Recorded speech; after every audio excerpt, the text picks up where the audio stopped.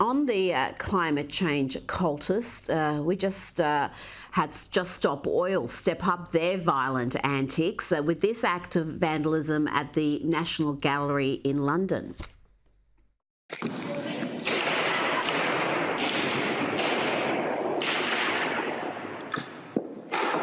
Women did not get the vote by voting.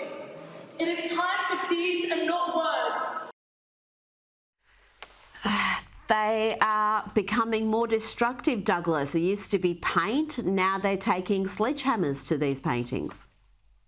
It's unbelievable to view, of course. I mean, it's just appalling. This particular painting that was attacked, the Rokeby Venus of Velazquez, um, was attacked before. It was slashed in 1914 by a suffragette. And these these um, vandals this week clearly felt they were treading in her footsteps. They hadn't quite done their research because the suffragette in question ended up joining up with Oswald Mosley's British Union of Fascists, which just goes to show, among other things, that the, the path of history isn't quite as straightforward as some of these people would think.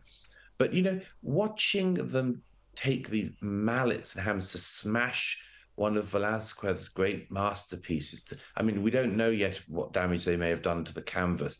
They obviously repeatedly smashed the glass protecting this masterpiece. But to see them get away with this is a reminder of this is what happens if you allow a two-year-old child to keep pushing. You know, the two-year-old child will keep mm. pushing mm. to get further and see what they can get away with. Well, it's just the same with these eco vandals. You know, they, as you mentioned, Rita, they they they they threw soup over a Van Gogh painting in the same gallery. Uh, two of them glued their hands to the 18th century frame in which another Van Gogh masterpiece was was uh, was hanging. And do you know how much those two uh, got fined eventually? Five hundred pounds a piece. Five hundred pounds a piece. Oh. So it turns out it's a bit of a bargain if you want to get your international message across and create a, a, a, little act of terror.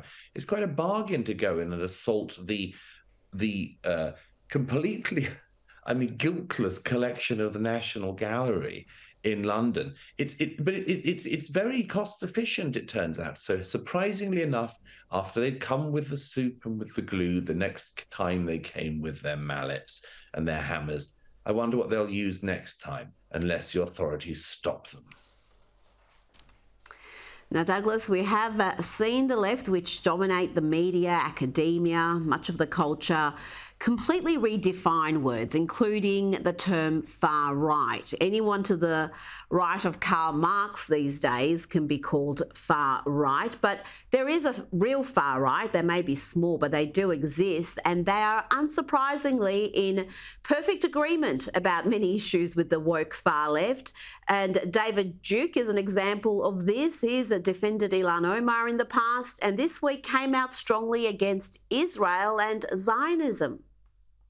Yep, um, the former Grand Wizard, I think that's what they call themselves, uh, of the KKK. David Duke, um, and uh, a, a, man who uh, represents the rump of the sort of far right party in the UK, the British National Party, that has no influence in politics. Uh, the two of them came out in this statement on the side of Hamas and against the Israelis. It's a fascinating thing because that, as you say, uh, Rita, that sort of awful, ugly um, uh, rump of the actual far right that is so far away from any mainstream um, actually shares its views with the far left and with the Islamists. And one of the places that they they all meet up is on the issue of the Jews. How very unsurprising. Uh, but the, the, here's the difference, of course, is that everybody knows that they would run a million miles from having anything to do with David Duke, the former grand high wizardy wizard or whatever it is of the KKK. But how sad that his views are in total alignment with a lot of airheads from the far left and the left in the US, in Australia, and elsewhere. They're in total alignment with them when it comes to the issue of the mm. Jews. It's just that the left and the far left seem not to be able to keep their extremists at bay in the same way. It's a great shame for civilization, and it's a great shame for the respectable left. Douglas, you are in Israel, and earlier this week you saw that 43 minute unedited edited video, including body cam footage of what happened on October 7. How has that affected you, and has that changed your view on that conflict? Well, it, I mean, it certainly, unfortunately, um, reinforced the number of thoughts I had about the Hamas attack.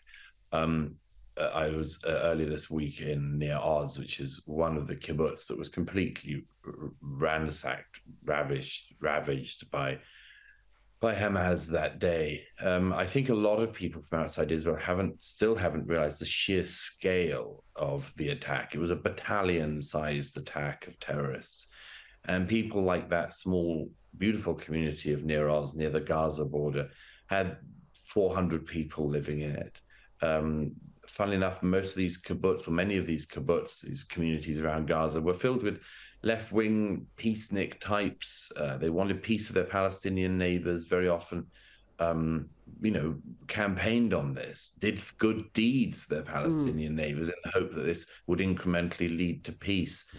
Um, Nir Oz lost over 80 of its citizens to being kidnapped by uh, Hamas. They were stolen from their homes, uh, often having been horribly uh, tortured and taken into the Gaza, where some of them still are. Um, and more than 30 uh, people of that community uh, were massacred right there. Um, an elderly man burned alive in his house, and um, um much, much, much more. Um, I went round the what remains of the community uh, a couple of days ago, wrote about it for the New York Post today.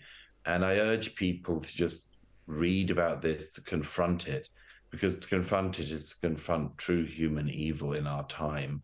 And it is to understand the basic Israeli message, which is we just cannot live with Hamas beside us when they do this, when they glory in it, and when they say, as one of their leaders again this week, that they want to do this again and again and again. It's impossible for the Israelis to live with that. Douglas Murray, thank you so much for your time this evening. It's a pleasure to see you as always, Rita. Thank you.